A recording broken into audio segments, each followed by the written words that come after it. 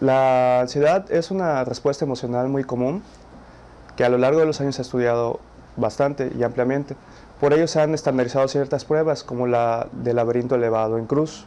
El laberinto elevado en cruz eh, sirve para comprobar la respuesta de la rata ante un ambiente nuevo y normalmente este tipo de experimentos se llevan a cabo en laboratorios donde una persona eh, está grabando la rata o está observando la rata y está registrando la, actividad manualmente. El propósito de este proyecto es automatizar este procedimiento, dado que a veces toma demasiadas horas y puede retrasar algunos procesos.